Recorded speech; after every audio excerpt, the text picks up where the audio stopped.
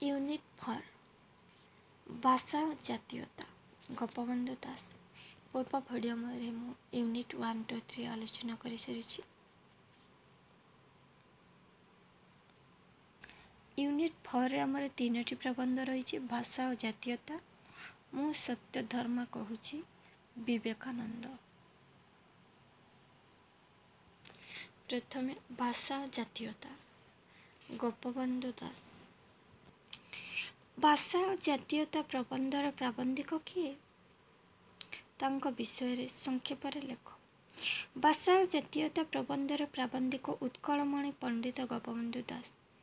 ସେ ସତ୍ୟବାଦୀ ଯୁଗର ଅନନ୍ୟ ସାଧକ। ଅଠରଶହ ସତସ୍ତରୀ ମସିହା ଅକ୍ଟୋବର ନଅ ତାରିଖରେ ପୁରୀ ଜିଲ୍ଲାର ସୁଆଣ୍ଡ ଗ୍ରାମରେ ଜନ୍ମଗ୍ରହଣ କରିଥିଲେ। ତାଙ୍କ ପିତାଙ୍କ ନାମ ଦୈତାରୀ ଦାସ ଓ ମାତାଙ୍କ ନାମ ସ୍ୱର୍ଣ୍ଣମୟୀ ଦେବୀ ତାଙ୍କ ଲିଖିତ ପୁସ୍ତକ ଧର୍ମପଦ ନଚିକେତା ଉପାଖ୍ୟାନ ଗୋ ମହାତ୍ମ୍ୟ ବଳିର ବିରହ ବ୍ୟଥା ବନ୍ଦିର ବିରହ ବ୍ୟଥା ବନ୍ଦିର ସନ୍ଧ୍ୟା ଅନୁଚିନ୍ତା କାରା କବିତା ଇତ୍ୟାଦି କେଉଁ ପୃଷ୍ଠଭୂମିରେ ମହାଭାରତୀୟ ଚେତନା ସୁଦୂର ପରାହତ ହୋଇଛି ଆଜିକାଲି ପ୍ରାଦେଶିକ ସ୍ୱତନ୍ତ୍ର ନଷ୍ଟ ହେବା ସଙ୍ଗେ ସଙ୍ଗେ ମହାଭାରତୀୟ ଚିନ୍ତା ମଧ୍ୟ ବିଡ଼ମ୍ବିତ ହୋଇଛି।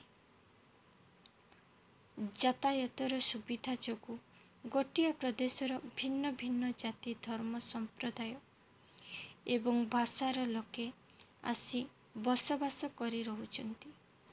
ହେଲେ ସେମାନେ ପୃଥକ୍ ଭାବେ ନିଜ ନିଜର ସ୍ୱତନ୍ତ୍ର ପ୍ରତି ସଚେତନ ହୋଇଥିବା ଫଳରେ ପ୍ରାଦେଶିକ ସ୍ୱାତନ୍ତ୍ର୍ୟ ଏବଂ ଏକତା ବ୍ୟବହାର ବା ଏକତା ବ୍ୟାହତ ହୋଇଛି।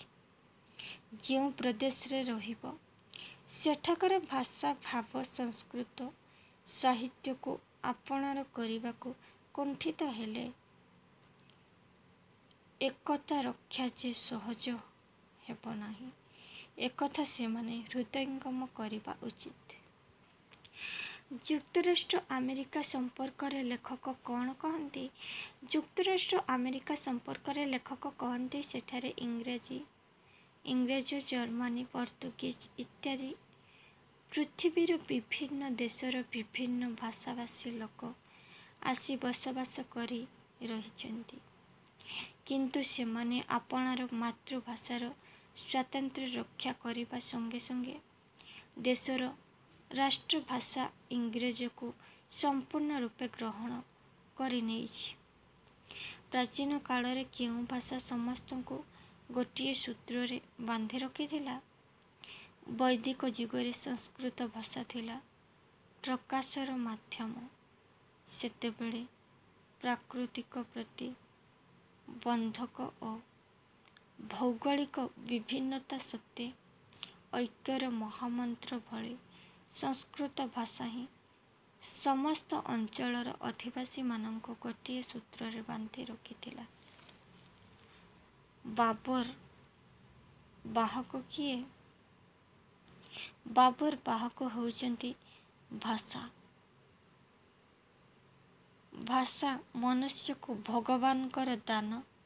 ଏହାର ଅଭାବରେ ସମାଜ ବିଭିନ୍ନ ହୋଇଯାଇଛି ହୋଇଯିବ। ବିଚ୍ଛିନ୍ନ ହୋଇଯିବ। ପ୍ରତ୍ୟେକ ପ୍ରତ୍ୟୟ ଠାରୁ ବିଚ୍ଛିନ୍ନ ହୋଇଯିବେ।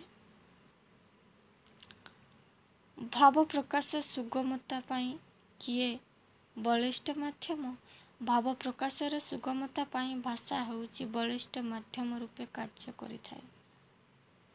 ଭାରତରେ ଏକତା ହିଁ ଏକତା କାହିଁକି ଦେଖାଯାଉନାହିଁ? ଭାରତରେ ବିଭିନ୍ନ ଜାତି ଧର୍ମ ଓ ବର୍ଣ୍ଣର ଲୋକ ବାସ କରନ୍ତି। ଗୋଟିଏ ଗୋଟିଏ ପ୍ରଦେଶରେ ଭିନ୍ନ ଭିନ୍ନ ପ୍ରଦେଶ ଲୋକମାନେ ବସବାସ କରି ରହୁଥିଲେ ମଧ୍ୟ ସେହି ପ୍ରଦେଶର ଭାଷା ଓ ସାହିତ୍ୟ ଓ ସଂସ୍କୃତିକୁ ଗ୍ରହଣ କରିବାକୁ ସେବକ କୁଣ୍ଠିତ। ତେଣୁ ଭାରତର ଏକତା ରହିପାରୁନାହିଁ। ମନୁଷ୍ୟ କାହିଁକି ଇତର ପ୍ରାଣୀମାନଙ୍କଠାରୁ ଶ୍ରେଷ୍ଠ? ବାକ୍ ଶକ୍ତି ଓ କଥା କହିବା ଶକ୍ତି ମନୁଷ୍ୟର ଥିବାରୁ ସେ ସମସ୍ତ ଇତର ପ୍ରାଣୀମାନଙ୍କଠାରୁ ଶ୍ରେଷ୍ଠ। ଗୋପବନ୍ଧୁ କ'ଣ ଚାହିଁଥିଲେ? ଗୋପବନ୍ଧୁ ଚାହିଁଥିଲେ ଆଗଙ୍ଗା ଗୋଦାବରୀ ବିସ୍ତୃତ ଭାରତବର୍ଷରେ ଗୋଟିଏ ଭାଷା ପ୍ରଚଳନ ହେଉ। ଯେପରି ଆମେରିକାର ଜାତୀୟ ଭାଷା ଇଂରାଜୀ ସେହିପରି ଭାରତରେ ଗୋଟିଏ ଭାଷା ପ୍ରଚଳନ ହେଲେ ଦେଶ ତଥା ଜାତିର ଉନ୍ନତି ହେବ।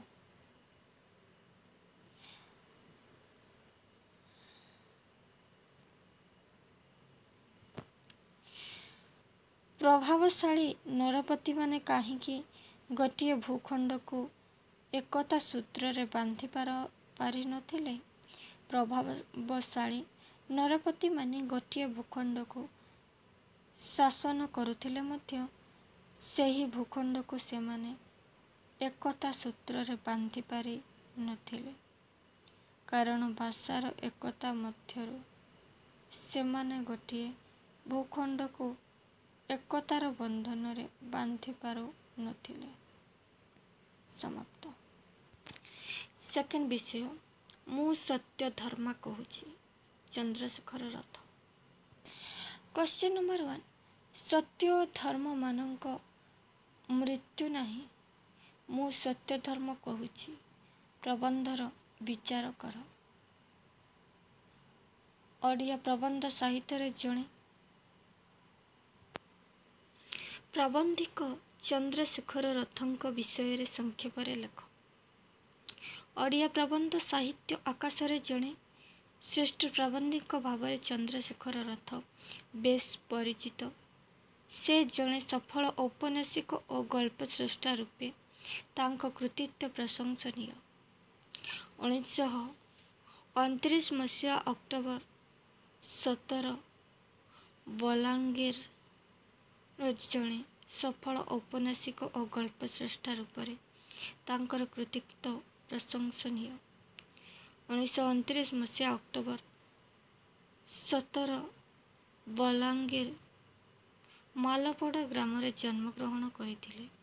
ତାଙ୍କର ସୃଷ୍ଟି ସମ୍ପଦ ଗୁଡ଼ିକ ହେଲା ଯନ୍ତ୍ରାରୂଢ଼, ଐଶ୍ୱର୍ଯ୍ୟ ଉପନିବେଶ,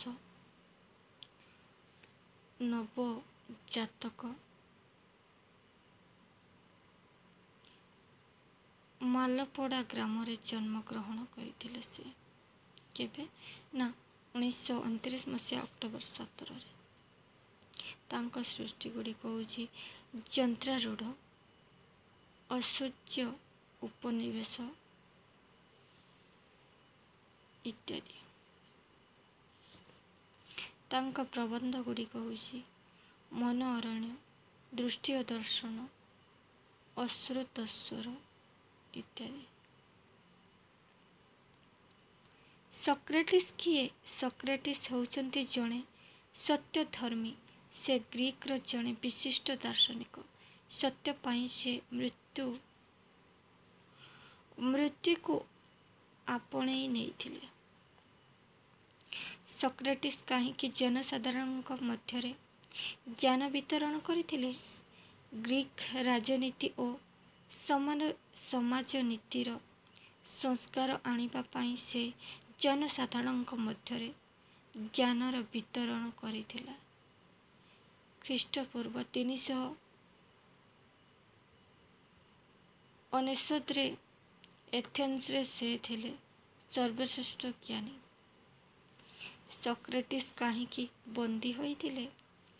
ସେତେବେଳେ ଗ୍ରୀକ୍ ଥିଲା ରାଜତନ୍ତ୍ରର ଅନ୍ଧାରୀ ଶାସନ ଦ୍ୱାରା ଆଚ୍ଛାଦିତ। ତେଣୁ ଗ୍ରୀକ୍ ଶାସକ ନିଜର ଶାସନ ଗାଦି ହରେଇବାର ଆଶଙ୍କା କରି ସକ୍ରେଟିସ୍ଙ୍କୁ ଦେଶଦ୍ରୋହୀ କହି ବନ୍ଦୀ କରିଥିଲେ। ତାଙ୍କୁ ମୃତ୍ୟୁଦଣ୍ଡ ଦେବା ଉଦ୍ଦେଶ୍ୟରେ ତାଙ୍କ ବିରୋଧରେ ନାନା ଅଭିଯୋଗ ଫର୍ଦ୍ଦ ଦାଖଲ କରିଥିଲେ। ସକ୍ରେଟିସଙ୍କ ବିରୁଦ୍ଧରେ କେଉଁ ଅଭିଯୋଗ ସବୁ ରହିଥିଲା? ସକ୍ରେଟିସ୍ ଚିରରୁଦ୍ଧରେ ଅଭିଯୋଗ ସବୁ ହେଲା। ପ୍ରଥମ ଅଭିଯୋଗ ଥିଲା ସେ ଦେଶଦ୍ରୋହୀ।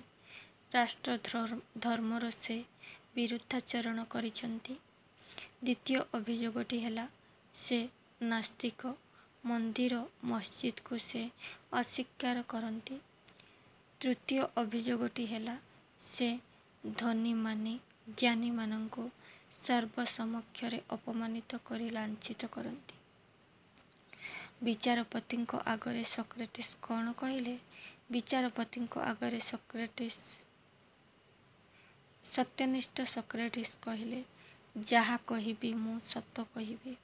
ସତ ବ୍ୟତିରେକ ମିଥ୍ୟା କହିବେ ନାହିଁ। ସେ ନ୍ୟାୟାଳୟରେ ବିଚାରପତିଙ୍କ ଆଗରେ ସତ୍ୟକଥା ହିଁ କହିବେ ବୋଲି କହିଲେ। ସେ ନିଷ୍ଠାର ସହିତ ଆଜୀବନ ସତ୍ୟର ସନ୍ଧାନ କରିଛନ୍ତି। ଈଶ୍ୱରଙ୍କ ସମ୍ପର୍କରେ ସକ୍ରେଟିସ୍ କ'ଣ କହିଛନ୍ତି? ସତ୍ୟନିଷ୍ଠ ତଥା ବାଗ୍ମୀ ସକ୍ରେଟିସ୍ କହିଛନ୍ତି, ଈଶ୍ୱର କ'ଣ ଜାଣନ୍ତି ନାହିଁ, ସେ ବିଷୟରେ ତାଙ୍କର ଜ୍ଞାନ ନାହିଁ। କିନ୍ତୁ ସେ କେବେ ଦେବତା ମନ୍ଦିରକୁ ଅବିଶ୍ୱାସ କରନ୍ତି ନାହିଁ। ମନ୍ଦିର ମସଜିଦ ଗିର୍ଜାକୁ ସେ ଚରମ ସତ୍ୟ ବୋଲି ଗ୍ରହଣ କରନ୍ତି। ଶିକ୍ଷା ସମ୍ପର୍କରେ ବାଗ୍ମୀ ସକ୍ରେଟିସ୍ କ'ଣ କହନ୍ତି? ଶିକ୍ଷା ସମ୍ପର୍କରେ ବାଗ୍ମୀ ସକ୍ରେଟିସ୍ କହନ୍ତି, କୁଶିକ୍ଷା ଦେବା ତାଙ୍କର ବୃତ୍ତି ନୁହେଁ। ସେ ଆଦୌ ଶିକ୍ଷା ଦିଅନ୍ତି ନାହିଁ। ତାଙ୍କ ଆଚରଣ ଦ୍ୱାରା କିମ୍ବା ତାଙ୍କ କଥା ଶୁଣିବାକୁ କେହି ଆଗ୍ରହ ପ୍ରକାଶ କରି ଆସିଲେ ସେ ଶିଷ୍ଟାଚାର ଦୃଷ୍ଟିରୁ ଫେରାନ୍ତି ନାହିଁ। ସେ ଆଜୀବନ ନିଷ୍ଠାର ସହ ସତ୍ୟର ସନ୍ଧାନ କରି ଆସୁଛନ୍ତି। ସମାପ୍ତ। ନେକ୍ସଟ ସ୍ୱାମୀ ବିବେକାନନ୍ଦ ଏକ ଗୁହାରୀ ମୁକ୍ତିର ପ୍ରୟାସ। Chittaranjan Das question number one Chittaranjan ଦାସଙ୍କ ଉପରେ ସଂକ୍ଷେପରେ ଲେଖ। ମନୀଷୀ ଚିତ୍ତରଞ୍ଜନ ଦାସ ଏକାଧାରରେ ଜଣେ ପ୍ରାବନ୍ଧିକ, ଗବେଷକ, ଅନୁବାଦକ, ଭ୍ରମଣ କାହାଣୀର ଭାବରେ ବେଶ୍ ପ୍ରତିଷ୍ଠିତ। ସେ ଉଣେଇଶ ଶହ ତେଇଶରେ ଜନ୍ମ ଗ୍ରହଣ କରିଥିଲେ। ତାଙ୍କ ଲିଖିତ ପୁସ୍ତକ ଜୀବନ ବିଦ୍ୟାଳୟ, ଶିଳା ଓ ଶାଳଗ୍ରାମ ଇତ୍ୟାଦି। ଦୁଇହଜାର ଏଗାର ମସିହାରେ ସେ ମହାନିଶି ଇହଲୀଳା ସମ୍ବଳନ କରିଥିଲେ। ବିଶ୍ୱରେ କିଏ ମିଳିଥାନ୍ତି, ତର୍କରେ କିଏ ଦୂରେଇ ଯାନ୍ତି। ବିଶ୍ୱରେ ହରେ ମିଳିଥାନ୍ତି, ତର୍କରେ ସେ ଦୂରେଇ ଯାଇଥାନ୍ତି। ବିଶ୍ୱାସ ଭିତରୁ କାହାକୁ ଅଲଗା କରି ରଖିଲେ ତର୍କ ଦରକାର ହୁଏ। ବିଶ୍ୱାସ ଭିତରୁ ଭୟ ଓ ମିଥ୍ୟାକୁ ଦୂରେଇ ରଖିଲେ ତର୍କ ଦରକାର ହୁଏ। ଧର୍ମସ୍ୟ ତତ୍ତ୍ୱଂ ନିହିତଂ ଗୁହାୟା ଏହାର ଅର୍ଥ କ'ଣ? ଧର୍ମର ତତ୍ତ୍ୱ ଗୁହା ଭିତରେ ହିଁ ନିହିତ ହୋଇ ରହିଛି। ମନୁଷ୍ୟକୁ କେଉଁ କର୍ମ ଭୋଗିବାକୁ ପଡ଼େ? ମନୁଷ୍ୟ ପୂର୍ବଜନ୍ମରେ ଯାହା କରିଥାଏ, ସେହି କର୍ମ ହିଁ ଭୋଗିବାକୁ ପଡ଼ିଥାଏ। ମୋକ୍ଷର ଅର୍ଥ କ'ଣ? ମୋକ୍ଷର ଅର୍ଥ ଜୀବନରୁ ମୁକ୍ତ, ଜୀବନ ସକଳ ଦୁଃଖ ଓ ବନ୍ଧନରୁ ମୁକ୍ତ। ମରଣରେ ଜୀବନର ଅବସାନ ହୁଏ। ଜିଜ୍ଞାସା ପ୍ରସଙ୍ଗରେ ଲେଖ। ଲେଖକ କ'ଣ କହିଛନ୍ତି? ଜିଜ୍ଞାସା ପ୍ରସଙ୍ଗରେ ଲେଖକ କହିଛନ୍ତି, ଜିଜ୍ଞାସାର ମାର୍ଗ ବିଲୋପ ନୁହେଁ, ସକଳ ପ୍ରକାରର ପ୍ରବର୍ତ୍ତନ ଓ ପରିବର୍ତ୍ତନ ଲାଗି ଏହା ହେଉଛି ଏକ ସ୍ୱଚ୍ଛ ମାର୍ଗ। ବିଶ୍ୱାସତାକୁ ଜୀବନ୍ତ ଓ ପ୍ରାଣାୟାମ କରି ରଖିବାକୁ ହେଲେ ତାହା ସହିତ ସତତ ଜିଜ୍ଞାସାର ସଦାଚରଣ ରହିବା ଦରକାର। ବିଜ୍ଞାସାରୁ ସବୁ ଧର୍ମ ଓ ଦର୍ଶନ ଆରମ୍ଭ ହେଲା ପରି ନୂତନ ଜିଜ୍ଞାସାରୁ ହିଁ ନୂତନ ଧର୍ମ ଓ ନୂତନ ଦର୍ଶନ ଆରମ୍ଭ ହୋଇଥାଏ। ବିବେକାନନ୍ଦଙ୍କ ମତରେ ମୋକ୍ଷର ଅର୍ଥ କ'ଣ? ବିବେକାନନ୍ଦଙ୍କ ମତରେ ସକଳ ପ୍ରକାରର ପାଶର ପ୍ରମାଦରୁ ମୁକ୍ତ ହୋଇ ମଣିଷ ଲାଗି ଜୀବନ ସମର୍ପଣ କରିବା ହିଁ ମୋକ୍ଷ ମଣିଷ କାହିଁକି କାଠ ଓ ପଥର ହୋଇ ବସେ ଗୋଟିଏ ନିର୍ମମ କର୍ମବାଦର ନିର୍ଦ୍ଦେଶକୁ ଜୀବନର ଚରମ ଧର୍ମ ବୋଲି ମାନି ନେଇ ନିର୍ମମ ହୋଇ ବସିଲେ। ଅପର ପ୍ରତି ତଥା ଆପଣା ପ୍ରତି କେବଳ ଏକ ଉଦାସୀନତା ହିଁ ସାର ହୁଏ।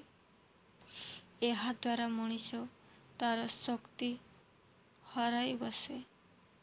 ଏହି ସକ୍ତତା ହେତୁ ସେ ଆପଣାର ବ୍ୟକ୍ତିଗତ ଓ ସାମାଜିକ ଜୀବନରେ ଅନେକ ଅନ୍ୟାୟ ଓ ଅବ୍ୟବସ୍ଥାକୁ ମଧ୍ୟ ପ୍ରଶ୍ରୟ ଦିଏ ଓ ସେଥିଲାଗି ଆଦୌ ଆହତ ଅନୁଭବ କରେ ନାହିଁ। ବିବେକାନନ୍ଦ କାହାଙ୍କର ପ୍ରକାଶ ପ୍ରତୀକ? ବିବେକାନନ୍ଦ ଜିଜ୍ଞାସାର ପ୍ରତୀକ। ପ୍ରାବନ୍ଧିକ ଚିତ୍ତରଞ୍ଜନ କାହାର ଧର୍ମୀୟ ଦୃଷ୍ଟିକୋଣକୁ ପସନ୍ଦ କରିଛନ୍ତି? ପ୍ରାବନ୍ଧିକ ଚିତ୍ତରଞ୍ଜନ ଦାସ ବିବେକାନନ୍ଦଙ୍କ ଧର୍ମୀୟ ଦୃଷ୍ଟିକୋଣକୁ ପସନ୍ଦ କରିଛନ୍ତି। କାରଣ ଯୁଗ ଯୁଗର ଅନ୍ଧବିଶ୍ୱାସକୁ ଭାଙ୍ଗି ସେ ଆମର ଧର୍ମୀୟ ଜୀବନକୁ ନୂତନ ଶକ୍ତି ପ୍ରଦାନ କରିଥିଲେ। ବିବେକାନନ୍ଦ ମୁଖ୍ୟ ସମ୍ପର୍କରେ କ'ଣ କହିଥିଲେ?